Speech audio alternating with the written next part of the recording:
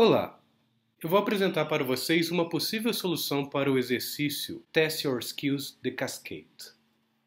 Neste exercício, o objetivo era vocês criarem uma regra CSS para eliminar a cor de fundo dos meus links, de forma a ficar conforme esse painel acima, sem cor de fundo azul, mas sem explicitamente indicar uma cor para uma propriedade. Então, para isso, a minha solução prescreve usar valores universais, como por exemplo unset, initial, reverts, valores que nós discutimos na gravação.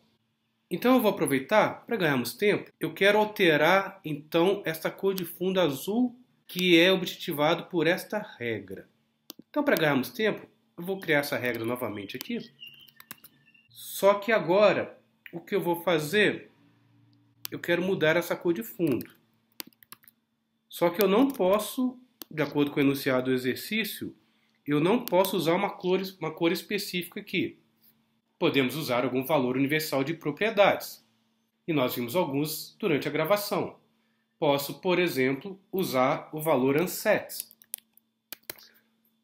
Conforme vocês podem ver, eu já consegui. Só de eu colocar unset aqui, eu já eliminei a cor de fundo.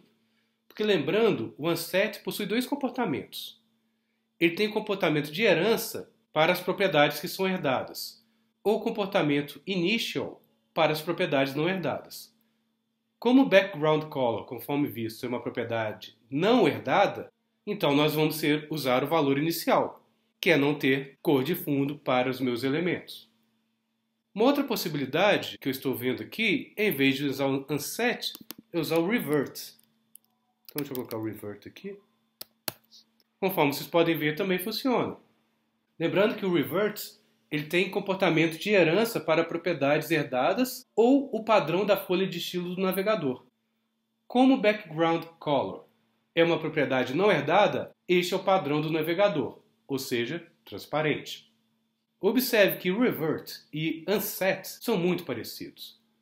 Pela minha experiência, na maioria das vezes você vai usar revert em vez de unset, tendo em vista que revert é um valor universal mais recente, quando comparado com os outros valores universais, como por exemplo inherit, initial e unset.